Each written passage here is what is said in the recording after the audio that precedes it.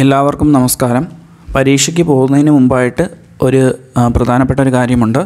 നമ്മുടെ degree level prelims പരീക്ഷയിൽ ഉൾപ്പെടുത്തിയിരിക്കുന്ന സെക്രട്ടേറിയറ്റ് അസിസ്റ്റന്റ് പരീക്ഷയുടെ കൺഫർമേഷൻ കൊടുക്കേണ്ട അവസാന തീയതി ഇന്ന് അതായത് രണ്ടായിരത്തി ഇരുപത്തിയൊന്ന് ജൂലൈ പന്ത്രണ്ടാം തീയതിയാണ്.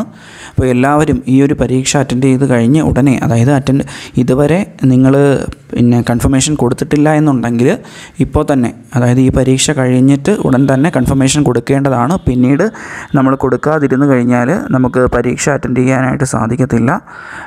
അതുകൊണ്ട് അതുകൊണ്ട് എല്ലാവരും ഇന്ന് തന്നെ കൊടുക്കുക. അപ്പം നമുക്ക് പരീക്ഷയിലേക്ക് പോവാം.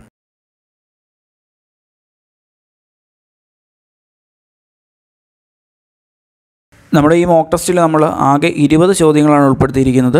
ഒരു ചോദ്യത്തിന് പതിനഞ്ച് സെക്കൻഡ് വീതമാണ് നൽകുന്നത്. അപ്പോൾ നിങ്ങൾക്ക് അറിയാവുന്ന ചോദ്യങ്ങളുടെ ഉത്തരം പേപ്പറിൽ എഴുതുക അതിനോടൊപ്പം തന്നെ നമ്പർ ഇട്ട് ഇവിടെ കമന്റ് ചെയ്യുകയും കൂടെ ചെയ്യുക. അപ്പോൾ ഇനി ഇരുപത് ചോദ്യങ്ങൾ ഇവിടെ ഉൾപ്പെടുത്തിയിരിക്കുന്ന ഇരുപത് ചോദ്യങ്ങളും പ്രീവിയസ് ചോദ്യങ്ങളാണ്. പിന്നീട് ഇവയെല്ലാം പറഞ്ഞതിന് ശേഷം നമ്മൾ ഉത്തരം പറയുന്ന സമയത്ത് അതിനോടൊപ്പം ഒരു ചോദ്യത്തിനോടൊപ്പം ഒരു മൂന്ന് മുതൽ അഞ്ച് വരെയുള്ള എക്സ്പ്ലനേഷൻസും കൂടെ പറയുന്നതാണ്. അതും മുൻപ് പല പരീക്ഷകളിലും ചോദിച്ചിട്ടുള്ളതാണ്. അപ്പോൾ എല്ലാവരും എന്ത് ചെയ്യുക? ഇതെല്ലാം എഴുതിയെടുക്കുക. അപ്പോൾ നമുക്ക് പരീക്ഷയിലെ ചോദ്യങ്ങളിലേക്ക് പോവാം.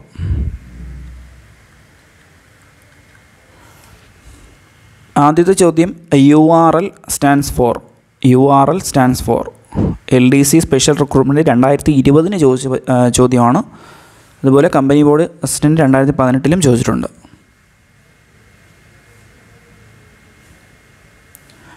രണ്ടാമത്തെ ചോദ്യം T C P bar I P. C P I P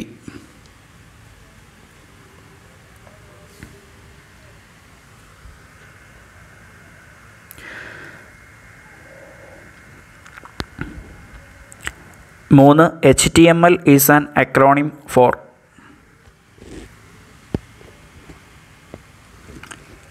H T M L എന്നത് എന്തിന്റെ ചുരുക്കരൂപമാണ്?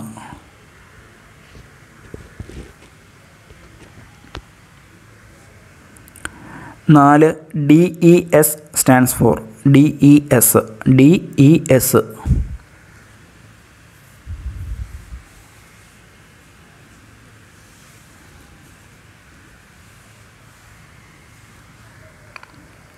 അഞ്ച് G U I refers to അഞ്ച് G U I refers to.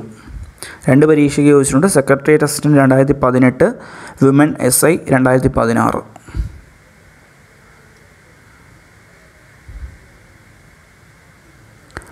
അടുത്തത് I B M stands for I B M.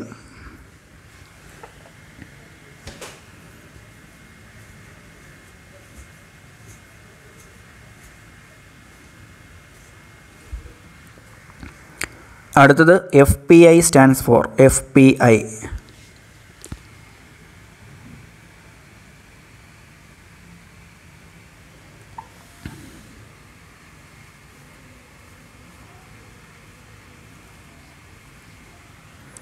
എട്ടാമത്തെ ചോദ്യം the term virus stands for virus രണ്ട് പരീക്ഷയ്ക്ക് വന്നിട്ടുണ്ട്. റേഞ്ച് ഫോറസ്റ്റ് ഓഫീസർ രണ്ടായിരത്തി പതിനാറ് അഡ്മിനിസ്ട്രേറ്റീവ് അസിസ്റ്റന്റ് രണ്ടായിരത്തി പതിനാറ് ഇതിനു മുമ്പ് പല രണ്ടായിരത്തി പതിനാലിൽ നടന്ന പല പരീക്ഷകൾക്കും ചോദിച്ചിട്ടുണ്ട് വൈറസ്. അടുത്തത് U S B U S B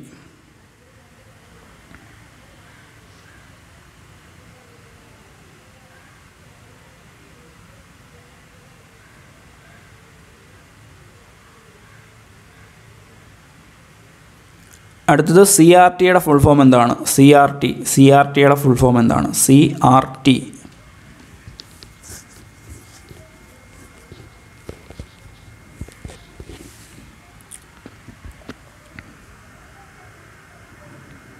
അടുത്ത ചോദ്യം I RAM stands for I RAM I RAM I RAM stands for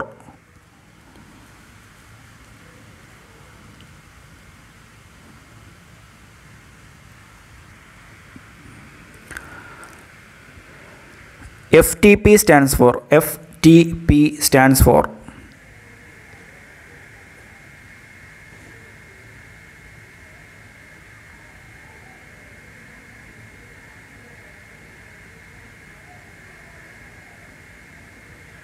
RISC RISC stands for RISC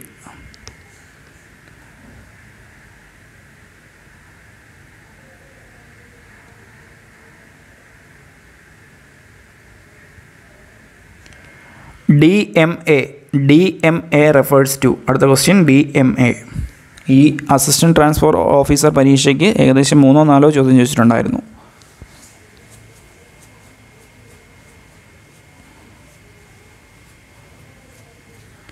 അടുത്ത question I S D N I S D N stands for I S D N stands for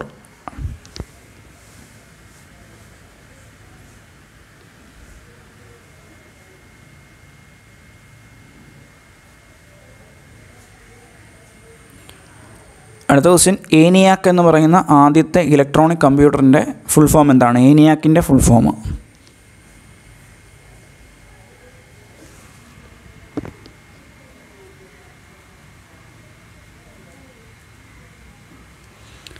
അടുത്തത് I S P I S P stands for എന്താണ്? I S P I S P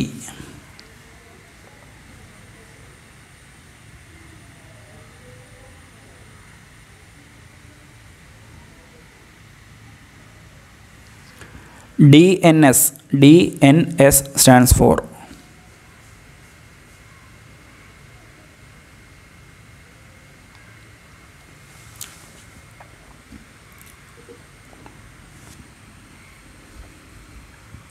പത്തൊൻപതാമത്തെ ചോദ്യം C R L stands for സ്റ്റി പത്തൊൻപതാമത്തെ ചോദ്യം C R L stands for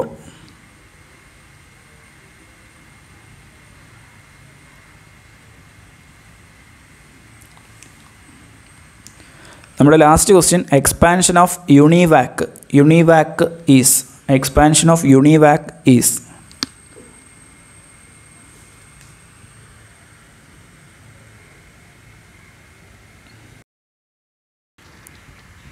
അപ്പോൾ നമുക്ക് ഉത്തരങ്ങളിലേക്ക് കിടക്കാം. ഈ ഉത്തരം പറയുന്ന സമയത്ത് നിങ്ങൾക്ക് അറിഞ്ഞുകൂടാത്ത ചോദ്യങ്ങളുടെ ഉത്തരങ്ങൾ വ്യക്തമായിട്ട് എഴുതിയെടുക്കുക. അതിനോടൊപ്പം ഉത്തരത്തിനോടൊപ്പം തന്നെ മറ്റ് നാല് എക്സ്പ്ലനേഷനും കൂടെ പറയുന്നുണ്ട്. അതും ആവശ്യമുണ്ടെങ്കിൽ നിങ്ങൾക്ക് അറിയാവുന്നതാണെങ്കിൽ എഴുതണ്ട അറിഞ്ഞുകൂടാത്തതാണെങ്കിൽ എഴുതി വയ്ക്കുക അത് പിന്നീട് പഠിക്കുക.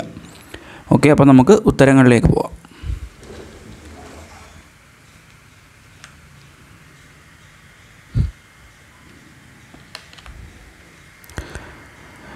അപ്പോൾ ആദ്യത്തെ ചോദ്യം യു ആർ എൽ എന്നായിരുന്നു.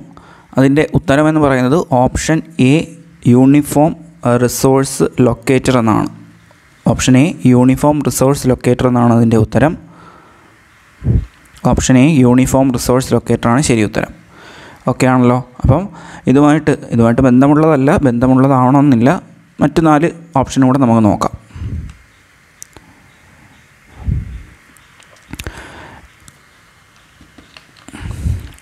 ആദ്യത്തത് U R I. U R I എന്ന് പറഞ്ഞാൽ യൂണിഫോം റിസോഴ്സ് ഐഡന്റിഫയർ എന്നാണ്. നോക്കുക ഐയുടെ ഫുൾ ഫോം എന്ന് പറഞ്ഞാൽ ഐഡന്റിഫയർ എന്നാണ്. Uniform resource identifier. U R I എന്ന് പറയുന്നത് യൂണിഫോം റിസോഴ്സ് ഐഡന്റിഫയർ എന്നാണ്. ഓക്കെ ആയേ. അടുത്തതെന്ന് പറഞ്ഞാൽ മോഡം. മോഡം എന്ന് പറഞ്ഞാൽ modulator demodulator. Modulator demodulator.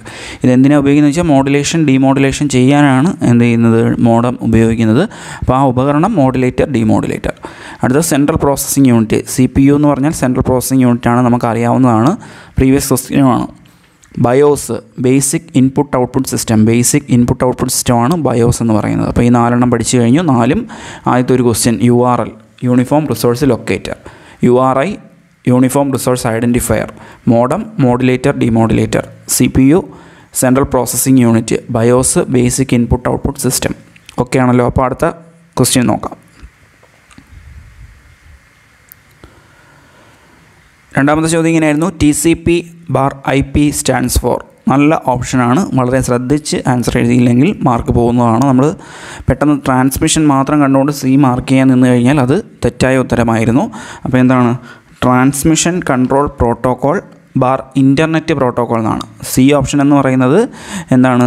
C option എന്ന് പറയുന്നത് ഇന്റേർണൽ പ്രോട്ടോക്കോൾ എന്നാണ് ഇന്ന് കൊടുത്തിരുന്നത്. പക്ഷേ നമുക്ക് വേണ്ടുന്നത് എന്താണ്? Transmission control protocol bar internet protocol എന്നാണ് അപ്പോൾ ഓപ്ഷൻ ഡി ആണ് ശരി ഉത്തരം. അപ്പോൾ T C P bar I P എന്ന് പറയുന്നത് transmission control protocol bar internet protocol. Okay?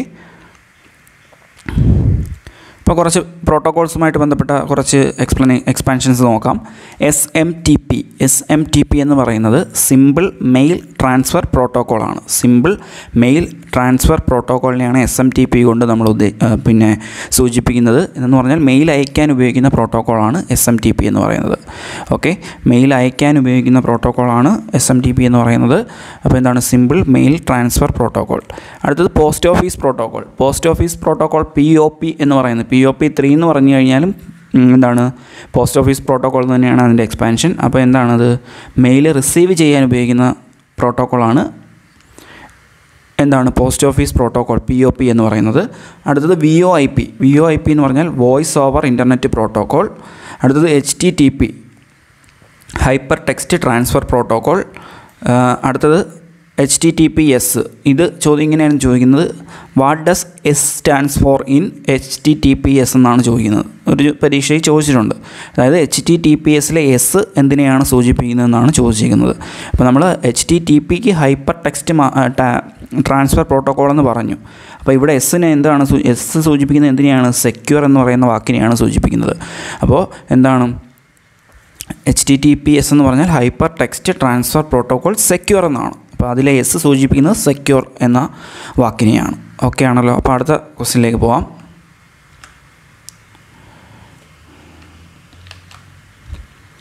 അടുത്തത് H T M L H T M L എന്ന് പറഞ്ഞു കഴിഞ്ഞാൽ ഹൈപ്പർ ടെക്സ്റ്റ് മാർക്കപ്പ് ലാംഗ്വേജ് ആണ്. ഹൈപ്പർ ടെക്സ്റ്റ് മാർക്കപ്പ് ലാംഗ്വേജ് ആണ്. ഓപ്ഷൻ സി ആണ് ശരി ഉത്തരം. Option C hyper text markup language ആണ് ഈ ഒരു ചോദ്യത്തിന്റെ ശരി ഉത്തരം എന്ന് പറയുന്നത്. അപ്പോൾ ഇതുമായിട്ട് ബന്ധപ്പെട്ട് കുറച്ച് മറ്റ് കുറച്ച് എക്സ്പ്ലനേഷൻസിലേക്ക് പോകാം.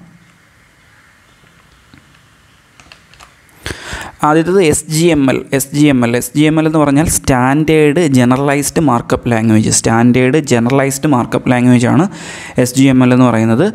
അപ്പോൾ അത് ഓർക്കുക. അടുത്ത എക്സ് എം എൽ എന്ന് പറയുന്നത് നമ്മൾ സ്ഥിരം കേൾക്കുന്നതാണ്. എക്സ് എം എൽ പേജ് എന്നൊക്കെ കേൾക്കുന്നതാണ്. Extensible markup language extensible markup language ആണ് എക്സ് എം എൽ എന്ന് പറയുന്നത്. X H T M L എന്ന് പറഞ്ഞാൽ എന്താണ്? എച്ച് ടി എം എല്ലിന്റെ മുന്നിൽ എക്സ് വരികയാണെങ്കിൽ എന്താണ്? എക്സ്റ്റെൻസിബിൾ എന്നാണ് അതിന്റെ അർത്ഥം. എക്സ് എന്ന് പറഞ്ഞാൽ എക്സ് എക്സിന്റെ പൂർണരൂപം എന്ന് പറഞ്ഞാൽ എക്സ്റ്റെൻസിബിൾ എന്നാണ്. X extensible hyper text markup language okay അടുത്ത D D L data definition language ഇതും പ്രീവിയസ് ക്വസ്റ്റ്യൻ ആണ്. പ്രീവിയസ് ക്വസ്റ്റ്യൻ ചോദിച്ചിട്ടുള്ളതാണ്. അപ്പോൾ അത് പഠിക്കുക. അപ്പോൾ എന്തൊക്കെയാണ്? എസ് ജി എം എൽ എന്ന് പറഞ്ഞാൽ standard generalized markup language extensible markup language എന്ന് പറഞ്ഞാൽ X M L X H T M L എന്ന് പറഞ്ഞാൽ extensible hyper text markup language D D L എന്ന് പറയുന്നത് എന്താണ്? ഡേറ്റ ഡെഫിനിഷൻ ലാംഗ്വേജ് ഓക്കെ ആണല്ലോ? അപ്പോൾ അടുത്ത ചോദ്യത്തിലേക്ക് പോകാമല്ലോ.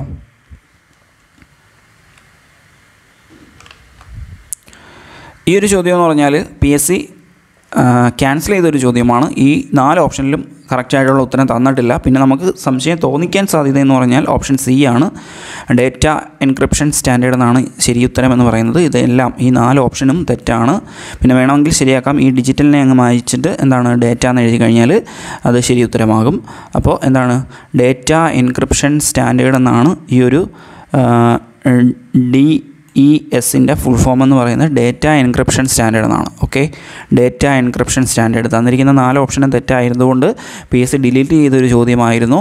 ഈ ഡി ഇ എസ് ട്രാൻസ്ഫോർ രണ്ടായിരത്തി പതിനെട്ടില കമ്പനി ബോർഡ് അസിസ്റ്റന്റ് പരീക്ഷയുടെ ചോദ്യമായിരുന്നു. അത് എന്താണ് പി എസ് സി ഡിലീറ്റ് ചെയ്തൊരു ചോദ്യമായിരുന്നു. അപ്പം കുറച്ച് മറ്റുള്ള കുറച്ച് എക്സ്പ്ലനേഷൻസ് നോക്കാം.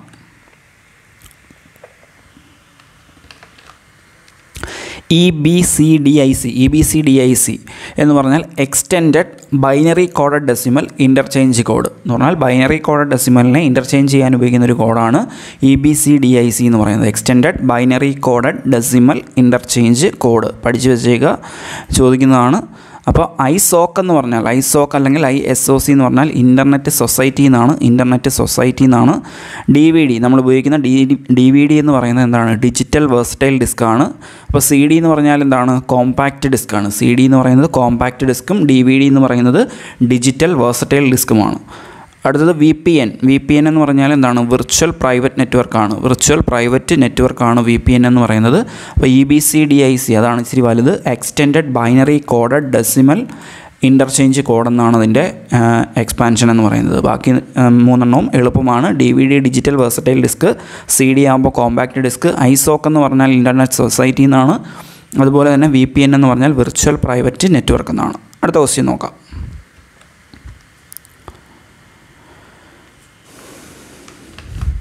G U I refers to G U I എന്ന് പറഞ്ഞാൽ option A graphical user interface ആണ് ഈ ഒരു ചോദ്യത്തിന്റെ ശരി ഉത്തരം എന്ന് പറയുന്നത്. Option A graphical user interface അപ്പം കുറച്ച് മറ്റുള്ള ഓപ്ഷൻ കൂടെ നോക്കാം നമുക്ക്.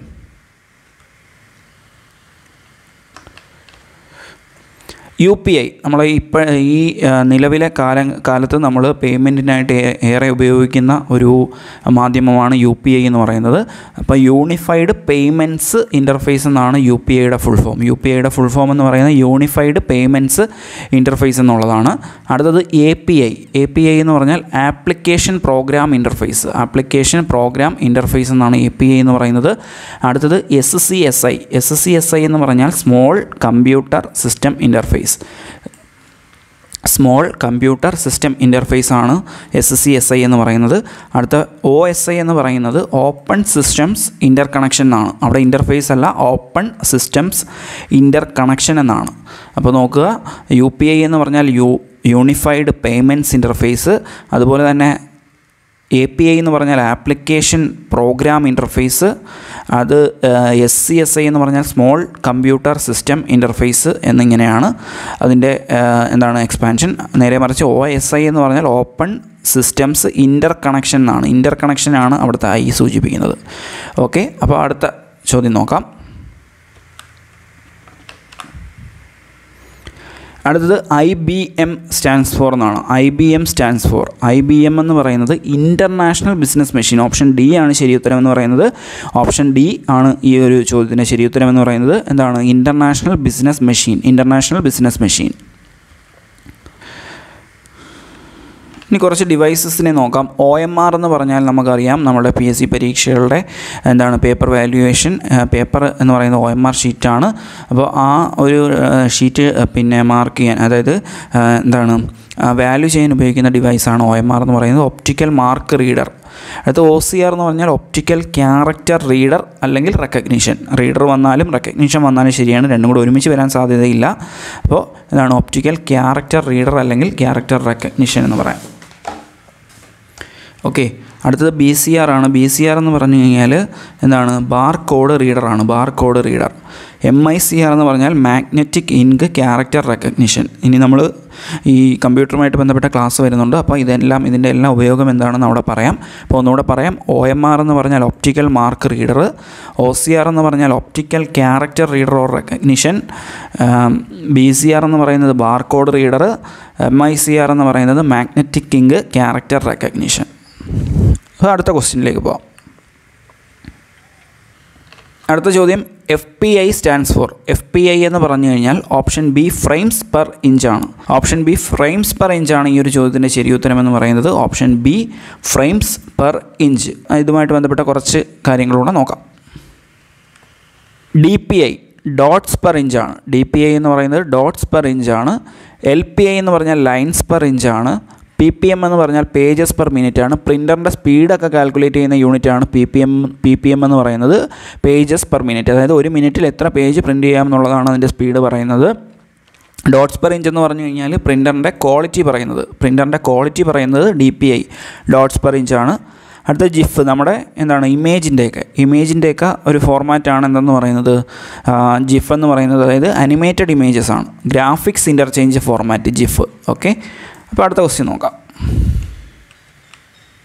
The term virus stands for വൈറസിന്റെ ഫുൾ ഫോം എന്തെന്നാണ് ചോദ്യം. വൈറസിന്റെ ഫുൾ ഫോം എന്ന് പറയുന്നത് ഓപ്ഷൻ ഡി ആണ് ശരി ഉത്തരം. Vital information resource under siege അതാണ് ശരി ഉത്തരം എന്ന് പറയുന്നത്. നമുക്ക് തെറ്റിക്കാനായിട്ട് എന്താണ് വൈറൽ എന്ന് തന്നിട്ടുണ്ട് ഓപ്ഷൻ എയിലും ബിയിലും പക്ഷേ ശരി ഉത്തരം എന്ന് പറഞ്ഞാൽ vital information resource under siege എന്നുള്ളതാണ്. അപ്പോൾ അടുത്ത ക്വസ്റ്റ്യൻ നോക്കാം. R D B M S R D B M S നമുക്കറിയാം ഡി ബി എം എസ് എന്ന് പറഞ്ഞാൽ ഡേറ്റാ ബേസ് മാനേജ്മെന്റ് സിസ്റ്റം എന്നാണ്. ഡേറ്റാ ബേസ് മാനേജ്മെന്റ് സിസ്റ്റം എന്നാണ്. അതിന്റെ മുന്നിൽ ഒരു ആറും കൂടെ വന്നു കഴിഞ്ഞാൽ എന്താണ്? Relational database management system എന്നാവും. Relational database management system എന്നാണ് R D B M S എന്ന് പറയുന്നത്. അടുത്തത് FAT F A T F A T file allocation ടേബിളാണ് file systems ആണ്. കമ്പ്യൂട്ടറുകളിൽ ഉപയോഗിക്കുന്ന ഫയൽ സിസ്റ്റം ഫയൽ സിസ്റ്റംസ് ആണ് ഫാറ്റും എൻ ടി എഫ് എസും ഒക്കെ. അപ്പോൾ ഫാറ്റ് എന്ന് പറഞ്ഞാൽ എഫ് എ ടി എന്ന് പറഞ്ഞു കഴിഞ്ഞാൽ ഫയൽ അലോക്കേഷൻ ടേബിൾ എന്നാണ് അർത്ഥം. അടുത്തത് ക്യാഡ് ക്യാഡ് നമ്മൾ എന്താണ് സിവിൽ എഞ്ചിനീയേഴ്സൊക്കെ ഡിസൈനൊക്കെ ചെയ്യാൻ ഉപയോഗിക്കുന്ന സോഫ്റ്റ്വെയർ ആണ് ക്യാഡ് എന്ന് പറയുന്നത്. അതിന്റെ ഫുൾ ഫോം എന്ന് പറയുന്നത് കമ്പ്യൂട്ടർ എയ്ഡഡ് ഡിസൈൻ എന്നാണ്. കമ്പ്യൂട്ടർ എയ്ഡഡ് ഡിസൈൻ എന്നാണ്. അടുത്തത് നമ്മൾ സ്ഥിരം യൂസ് ചെയ്യുന്ന ഫയലാണ് P D F file P D F ഫയലിന്റെ ഫുൾ ഫോം എന്ന് പറഞ്ഞാൽ പോർട്ടബിൾ ഡോക്യുമെന്റ് ഫോർമാറ്റ് എന്നാണ്. പോർട്ടബിൾ ഡോക്യുമെന്റ് ഫോർമാറ്റ് അതായത് ചേഞ്ച് വരുത്തില്ല. ഇപ്പം വേർഡ് ഫയൽ നമ്മൾ മറ്റൊരാളിലേക്ക് അയച്ചു കൊടുക്കുകയാണെങ്കിൽ അത് മലയാളത്തിലൊക്കെയാണ് ടൈപ്പ് ചെയ്തിരിക്കുന്നതെങ്കിൽ അവരുടെ കയ്യിൽ ആ സെയിം ഫോണ്ട് ഇല്ല എന്നുണ്ടെങ്കിൽ എന്ത് ചെയ്യും? ആ ഒരു പിന്നെ ഭാഗത്തുള്ള കാര്യങ്ങളെല്ലാം എന്ത് ചെയ്യും? മാറിയായിരിക്കും കാണപ്പെടുന്നത്. പക്ഷേ പി ഡി എഫ് ആയിട്ട് അയച്ചു കൊടുത്തു കഴിഞ്ഞാൽ എന്താണ്? മലയാളത്തിലാണെങ്കിലും ഇംഗ്ലീഷിലാണെങ്കിലും ഏത് ഫോണ്ടിലാണെങ്കിലും എന്താണ്? അവരുടെ കയ്യിൽ അതേ ഫോണ്ട് വേണം എന്നൊന്നുമില്ല. അപ്പോൾ എന്താണ് ആ ഒരു രീതിയിൽ തന്നെ നമ്മൾ അയച്ചു കൊടുക്കുന്ന അതേ രീതിയിൽ തന്നെ അവരുടെ കയ്യിലേക്ക് എത്തും. അതുകൊണ്ടാണ് പോർട്ടബിൾ ഡോക്യുമെന്റ് ഫോർമാറ്റ് എന്ന് പറയുന്നത്. അപ്പോൾ ഈ നാല് കാര്യങ്ങൾ മനസ്സിലായെന്ന് വിചാരിക്കുന്നു. അടുത്ത ക്വസ്റ്റ്യനിലേക്ക് പോകാം U S B U S B എന്ന് പറഞ്ഞു കഴിഞ്ഞാൽ യൂണിവേഴ്സൽ സീരിയൽ ബസ് എന്നാണ്. യൂണിവേഴ്സൽ സീരിയൽ ബസ് എന്നാണ് ഈ ഒരു ചോദ്യത്തിന്റെ ശരിയുത്തരം എന്ന് പറയുന്നത്. യു എസ് ബിയുടെ ശരിയുത്തരം universal serial bus option A ആണ് ശരിയുത്തരം എന്ന് പറയുന്നത്. അപ്പോൾ നമുക്ക് ഇതുമായിട്ട് ബന്ധപ്പെട്ട കുറച്ച് ക്വസ്റ്റ്യൻസ് കൂടെ നോക്കാം. U P S U P S എന്ന് പറഞ്ഞാൽ അൺഇന്ററപ്റ്റബിൾ പവർ സപ്ലൈ അല്ലെങ്കിൽ അൺഇന്ററപ്റ്റഡ് എന്ന് തന്നാലും എഴുതുക. അതായത് അൺഇന്ററപ്റ്റബിൾ ഇല്ലാതെ അൺഇന്ററപ്റ്റഡ് തന്നാലും എഴുതുക. അപ്പോൾ അൺഇന്ററപ്റ്റബിൾ പവർ സപ്ലൈ അല്ലെങ്കിൽ അൺഇന്ററപ്റ്റഡ് പവർ സപ്ലൈ എന്ന് പറയാം യു പി എസിന്റെ ഫുൾ ഫോം എന്ന് പറയുന്നത്. അപ്പോൾ അത് ഓക്കെ ആയി.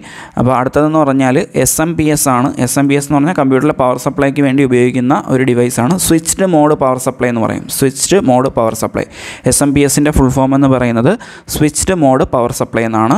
ജെ പി ജി അടുത്ത ഇമേജ് എക്സ്റ്റൻഷൻ ഫോർമാറ്റ് ആണ്. എന്താണ് ജെ പി ജി എന്ന് പറയുന്നത്? എന്താണ്? Joint photographic experts group joint photographic experts group എന്നാണ് ജെ പി ജിയുടെ ഫുൾ ഫോം അടുത്ത ജിംബ് ഒരു എന്താണ്? പെയിന്റ് പോലെ നമ്മുടെ മൈക്രോസോഫ്റ്റ് വിൻഡോസിൽ ഉപയോഗിക്കുന്ന പെയിന്റ് പോലെ നമ്മളെന്താണ് പിന്നെ ലിനക്സിൽ ഉപയോഗിക്കുന്ന ഒരു ആപ്ലിക്കേഷനാണ് എന്തെന്ന് പറയുന്നത്? ജിംബ് എന്ന് പറയുന്നത്. അതാണ് G N U G N U image manipulation system G N U image manipulation system എന്നാണ് അതിന്റെ ഫുൾ ഫോം എന്ന് പറയുന്നത്. Okay C R T C R ടിയുടെ ഫുൾ ഫോം എന്തെന്നാണ് നമ്മുടെ ക്വസ്റ്റ്യൻ എന്ന് പറയുന്നത്? സി ആർ ടിയുടെ ഫുൾ ഫോം എന്താണ്? First option current rate tube. എല്ലാം ഇങ്ങനെ തന്നെയാണ് തരുന്നത്. Current rate tube. ആ റേറ്റ് ട്യൂബ് കണ്ടതുകൊണ്ട് നമ്മൾ ഓപ്ഷൻ എ മാർക്ക് ചെയ്ത് വെക്കരുത്. ശരി ഉത്തരമെന്ന് പറയുന്നത് ഓപ്ഷൻ ഡി കാതോഡ് റേറ്റ് ട്യൂബാണ്. കാതോഡ് റേറ്റ് ട്യൂബാണ്. ഇതിന്റെ ശരി ഉത്തരമെന്ന് പറയുന്നത് option D cathode rate tube എന്നാണ്. ഓക്കെ? അപ്പോൾ കുറച്ച് ക്വസ്റ്റ്യൻസ് കൂടെ നോക്കാം. L C D L C D എന്ന് പറയുന്നത് ഒരു മോണിറ്റർ തന്നെയാണ്. എന്താണ്? ലിക്വിഡ് ക്രിസ്റ്റൽ ഡിസ്പ്ലേ ആണ്. എൽ സി ഡി എന്ന് പറയുന്നത് ലിക്വിഡ് ക്രിസ്റ്റൽ ഡിസ്പ്ലേ എന്നാണ്. അടുത്തത് എൽ ഇ ഡി എന്ന് പറഞ്ഞാൽ എൽ ഇ ഡി എന്ന് പറഞ്ഞു കഴിഞ്ഞാൽ എന്താണ്? ലൈറ്റ് എമിറ്റിംഗ് ഡയോഡാണ് ലൈറ്റ് എമിറ്റിംഗ് ഡയോഡാണ് ടി എഫ് ടി എന്ന് പറഞ്ഞാൽ തിൻ ഫിലിം ട്രാൻസിസ്റ്റർ എന്നാണ്. തിൻ ഫിലിം ട്രാൻസിസ്റ്റർ എന്നാണ്. വി ഡി യു എന്ന് പറഞ്ഞാൽ വിഷ്വൽ ഡിസ്പ്ലേ യൂണിറ്റ്. ഈ വിഷ്വൽ ഡിസ്പ്ലേ യൂണിറ്റിന് എക്സാമ്പിൾസ് ആണ്. പഴയ കാലം മുതൽ ഇപ്പോഴത്തെ കാലം വരെ ഉപയോഗിക്കുന്ന വിവിധ മോണിറ്ററുകളാണ് T F T L C D L E D എന്നൊക്കെ പറയുന്നത്. സി ആർ ടി എന്നൊക്കെ പറയുന്നത്. ഓക്കെ അപ്പോൾ അടുത്ത ക്വസ്റ്റ്യൻ നോക്കാം നമുക്ക്. അടുത്ത ക്വസ്റ്റ്യൻ എന്ന് പറഞ്ഞാൽ I RAM I RAM stands for എന്നുള്ള ഐ റാം സ്റ്റാൻഡ്സ് ഫോർ നല്ല ക്വസ്റ്റ്യനാണ് ഇതിന്റെ ശരിയുത്തരമെന്ന് പറയുന്നത് integrated random access memory option B ആണ് ശരിയുത്തരം. നോക്കുക ഇന്റഗ്രേറ്റഡ് കണ്ടത് കൊണ്ട് മാത്രം മാർക്ക് ചെയ്ത് വെക്കരുത്. ചിലപ്പം ബിയിലേക്ക് നോക്കാതെ നിങ്ങൾ ഡിയിലേക്ക് നോക്കാനുള്ള സാധ്യതയുണ്ട്. അതിനകത്ത് സ്പെല്ലിംഗ് മിസ്റ്റേക്ക് ഉണ്ട്. സ്പെല്ലിങ്ങും കൂടെ നോക്കണം. ആക്സിസ് എന്നാണ് കൊടുത്തിരിക്കുന്നത്. അത് തെറ്റാണ്. എന്താണ്? ശരിയുത്തരം എന്ന് പറയുന്നത് എന്താണ്? ഇന്റഗ്രേറ്റഡ് റാൻഡം ആക്സസ് മെമ്മറി എന്നാണ്. ഇന്റഗ്രേറ്റഡ് റാൻഡം ആക്സസ് മെമ്മറി എന്നാണ് ഐ റാമിന്റെ ഫുൾ ഫോം ഐയുടെ ഫുൾ ഫോം എന്ന് പറയുന്നത് ഇന്റഗ്രേറ്റഡ് എന്നാണ്. ഓക്കെ ഇനി വിവിധ തരം റാമുകളെ കുറിച്ച് നോക്കാം. റാം എന്ന് പറഞ്ഞാൽ എന്താണ്? റാം എന്ന് പറയുന്നത് റാൻഡം ആക്സസ് മെമ്മറി ആണെന്ന് നമുക്കറിയാം. റാം എന്ന് പറയുന്നത് റാൻഡം ആക്സസ് മെമ്മറി ആണെന്ന് നമുക്കറിയാം. ഡി റാം ആണെങ്കിലോ? D RAM dynamic RAM. Dynamic random access മെമ്മറിയാണ് D RAM എന്ന് പറയുന്നത്. അടുത്ത എസ് റാമിന്റെ ഫുൾ ഫോം എന്ന് പറഞ്ഞാൽ സ്റ്റാറ്റിക് റാൻഡം ആക്സസ് മെമ്മറിയാണ്. Static random access മെമ്മറിയാണ്.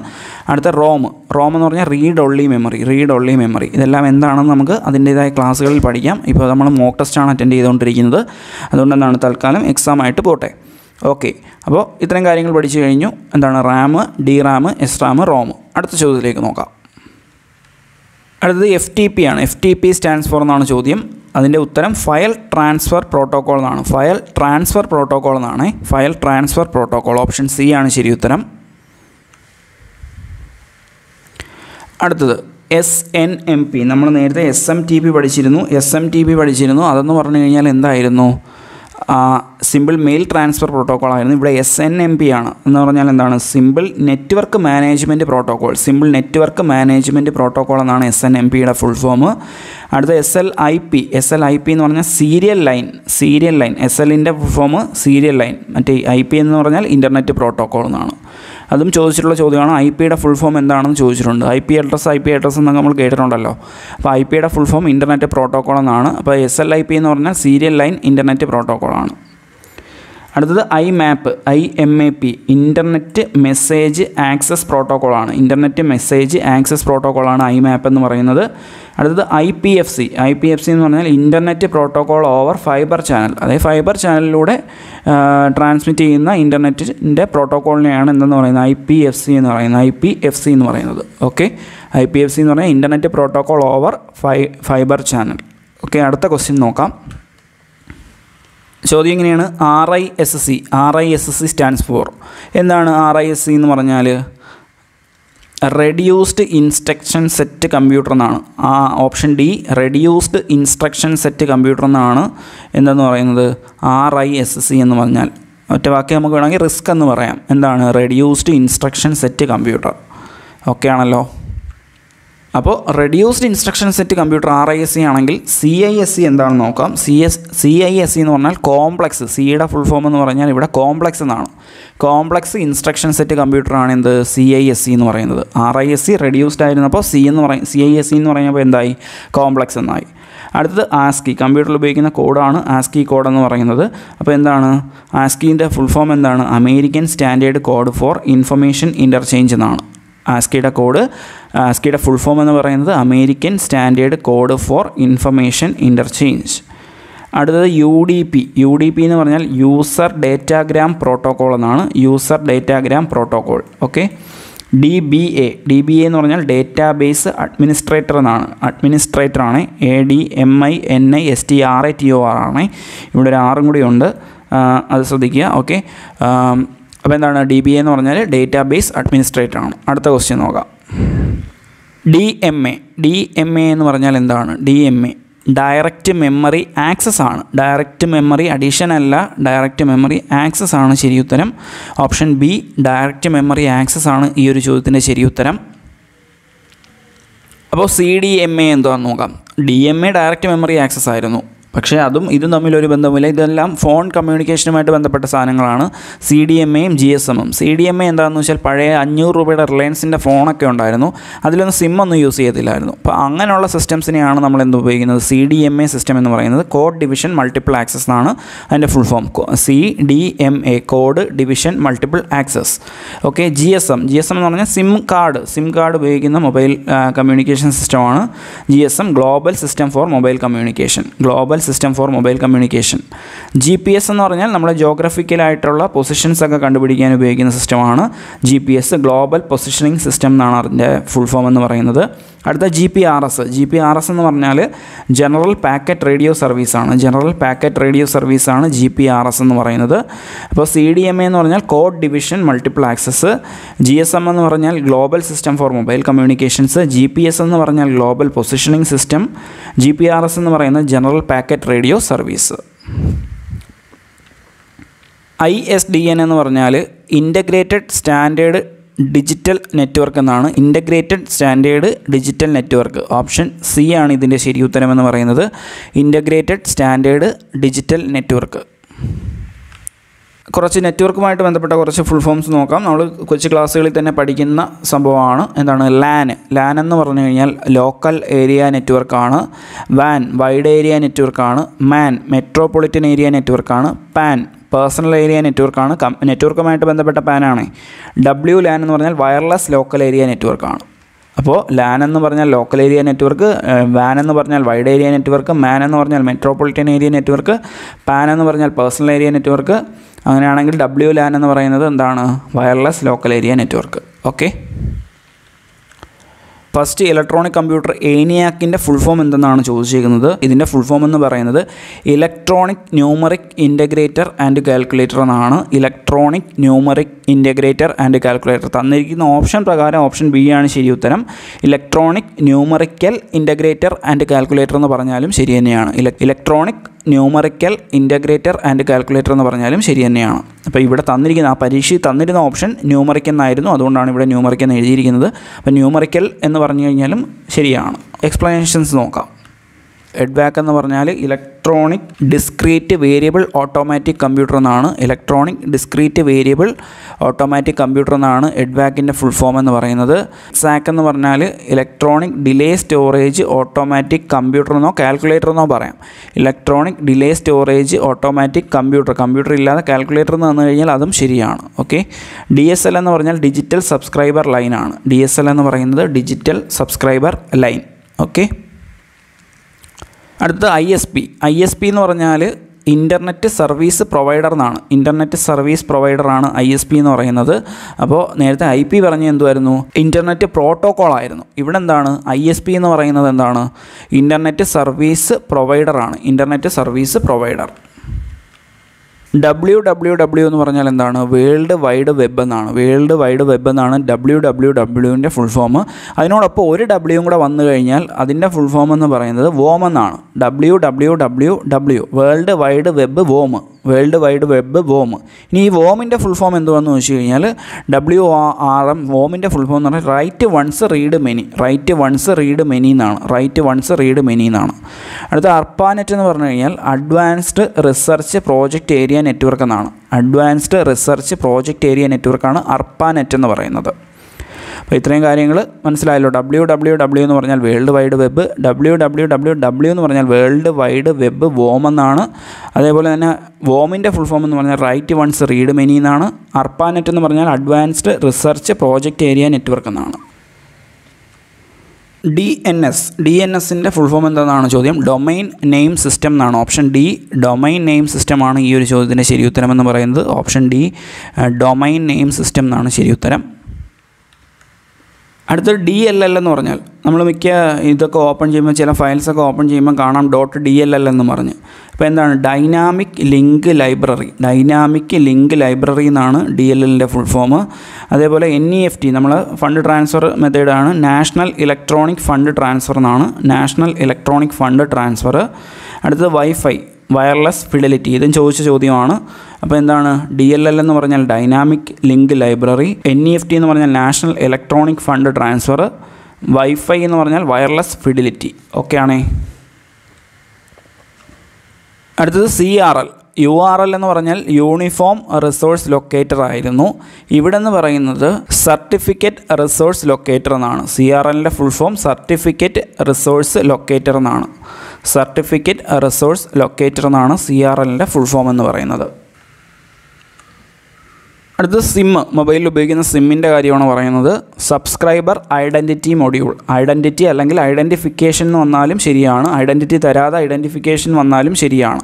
Subscriber identity module എന്നാണ് സിമ്മിന്റെ ഫുൾ ഫോം അടുത്തത് എസ് ഐ എം എം എന്ന് പറഞ്ഞാൽ single inline memory module single inline memory module single inline memory module എന്നാണ് എസ് ഐ എം എം സിമ്മിന്റെ full form എന്ന് പറയുന്നത്. അടുത്ത പി പ്രോം പ്രോം പ്രോമോ റോമിന്റെ വിവിധ എന്താണ് രൂപങ്ങളാണ് പ്രോമോ ഈ പ്രോമോ ഈ ഈ പ്രോമോ എന്നൊക്കെ പറയുന്നത്. അപ്പോൾ പ്രോമെന്ന് പറഞ്ഞാൽ പ്രോഗ്രാമബിൾ റീഡ് ഓൺലി മെമ്മറിയാണ് പ്രോഗ്രാമബിൾ റീഡ് ഓൺലി മെമ്മറിയാണ് പ്രോം എന്ന് പറയുന്നത്. അടുത്ത ഈ പ്രോം ഈ പ്രോം എന്ന് പറഞ്ഞാൽ erasable programmable read only memory erasable programmable read only മെമ്മറിയാണ് E PROM എന്ന് പറയുന്നത്. ഓക്കെ ഇപ്പോൾ നമ്മുടെ ലാസ്റ്റ് ക്വസ്റ്റ്യൻ ആണ് എക്സ്പാൻഷൻ ഓഫ് യൂണിവാക്ക് യൂണിവാക്ക് എന്ന് പറയുന്നതിന്റെ എക്സ്പാൻഷൻ എന്താണെന്നാണ് ചോദ്യം. യൂണിവേഴ്സൽ ഓട്ടോമാറ്റിക് കമ്പ്യൂട്ടർ എന്നാണ് യൂണിവാക്കിന്റെ എക്സ്പാൻഷൻ എന്ന് പറയുന്നത് എന്താണ്? യൂണി യൂണിവേഴ്സൽ ഓട്ടോമാറ്റിക് കമ്പ്യൂട്ടർ എന്നാണ്. യൂണിവേഴ്സൽ ഓട്ടോമാറ്റിക് കമ്പ്യൂട്ടർ എന്നാണ് ഇതിന്റെ ഫുൾ ഫോം എന്ന് പറയുന്നത്. ഇപ്പോൾ നമ്മൾ പ്രോമും ഇ പ്രോമും പറഞ്ഞിരുന്നു. അപ്പോൾ അതുമായിട്ട് ബന്ധപ്പെട്ട് വരുന്ന മറ്റൊരെണ്ണമാണ് ഇ ഇ പ്രോം അല്ലെങ്കിൽ ഇ സ്ക്വയർ പ്രോം എന്ന് പറയാം. Electrically erasable programmable read only memory electrically erasable രണ്ട് ഇയുടെ ഫുൾ ഫോം എന്ന് പറയുന്നത് ഇലക്ട്രിക്കലി ഇറൈസബിൾ എന്നാണ്. പ്രോഗ്രാമബിൾ പിന്നെ റോമിന്റെ ഫുൾ ഫോം നമുക്കറിയാം റീഡ് ഓൺലി മെമ്മറി ഇനി മൂന്ന് പ്രോഗ്രാമിംഗ് ലാംഗ്വേജസ് നോക്കാം. ആദ്യത്തെ ബേസിക് ആണ്. ബേസ് ബേസിക്കിന്റെ ഫുൾ ഫോം എന്ന് പറയുന്നത് beginners all purpose symbolic instruction code എന്നാണ്.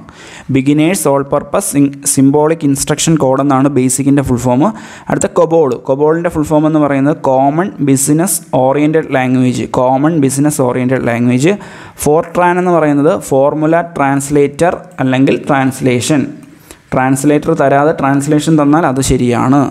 അപ്പോൾ ഈ പ്രോം എന്ന് പറഞ്ഞാൽ electrically erasable programmable read only മെമ്മറിയാണ് BASIC എന്ന് പറയുന്നത് beginner's all purpose symbolic instruction കോഡാണ് കൊബോൾ എന്ന് പറയുന്നത് കോമൺ ബിസിനസ് ഓറിയന്റഡ് ലാംഗ്വേജ് ആണ്. ഫോർട്രാൻ എന്ന് പറയുന്നത് ഫോർമുല ട്രാൻസ്ലേറ്റർ അല്ലെങ്കിൽ ട്രാൻസ്ലേഷനാണ് അപ്പോൾ ഇന്ന് പറഞ്ഞ ഈ ഇരുപത് ചോദ്യങ്ങളും അതുമായിട്ട് ബന്ധപ്പെട്ട് വന്ന എക്സ്പ്ലനേഷൻസും അതായത് എൺപത് എക്സ്പ്ലനേഷൻ പറഞ്ഞു ഇരുപത് ചോദ്യങ്ങളും പറഞ്ഞു.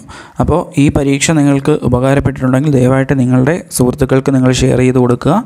അതുപോലെ തന്നെ ഈ ചാനൽ ഇതുവരെ സബ്സ്ക്രൈബ് ചെയ്തിട്ടില്ലാത്തവർ ദയവായി ചാനൽ സബ്സ്ക്രൈബ് ചെയ്യുക. അതുപോലെ തന്നെ ഈ ഒരു പരീക്ഷ നിങ്ങൾക്ക് ഇഷ്ടപ്പെട്ടിട്ടുണ്ടെങ്കിൽ ഈ വീഡിയോ ഒന്ന് ലൈക്ക് ചെയ്തേക്കുക. അപ്പോൾ ഇത്തരം കാര്യങ്ങൾ ചെയ്യുക. അതുപോലെ തന്നെ അടുത്ത പരീക്ഷ തൊട്ടടുത്ത ദിവസം തന്നെ ഉണ്ടാകും. പതിനാലാം തീയതിയാണ് അടുത്ത പരീക്ഷ. എന്താണെന്ന് അന്ന് രാവിലെ പറയാം. എല്ലാവർക്കും ഈ ഒരു വീഡിയോ ഉപകാരപ്പെട്ടിട്ടുണ്ടെന്ന് വിചാരിക്കുന്നു. എല്ലാവർക്കും ഒരു വിജയാശംസകൾ നേർന്നുകൊണ്ട് നമ്മൾ ഈ ക്ലാസ് ഇവിടെ അവസാനിപ്പിക്കുകയാണ്.